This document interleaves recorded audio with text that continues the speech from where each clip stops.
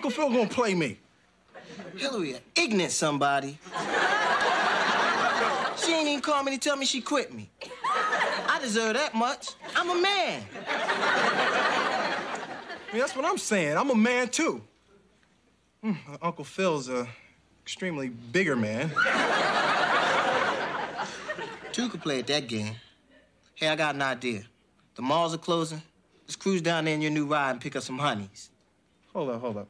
Are you telling me that I should disobey my uncle and do something that he specifically told me not to do?